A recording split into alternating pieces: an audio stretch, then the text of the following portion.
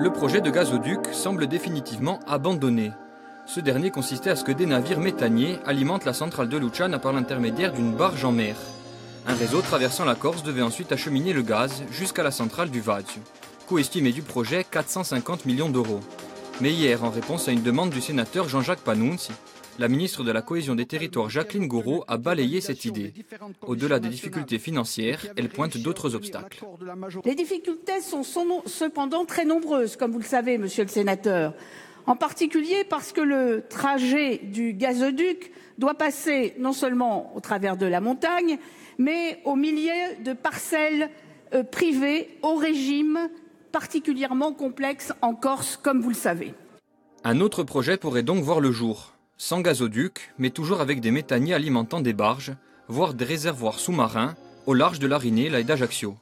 Idée encore plus coûteuse selon les associations de défense de l'environnement. Eux y voient surtout une volonté du gouvernement de jouer la montre. Que ce soit la, solution euh, de la barge ou toute autre solution, en tout état de cause, il faudra que euh, le gaz soit en Corse en 2023 pour permettre à la centrale de, du Ricante de démarrer au gaz naturel. Autrement, les Corses vont être des parias de la transition écologique et vont supporter du fioul encore pendant 30 ans, ce que nous n'accepterons pas. Le président de l'exécutif Gilles Siméon y dit attendre une lettre du ministre de l'écologie François de Rugy pour avoir plus de précisions. Le courrier devrait parvenir dans les prochains jours. Thank you.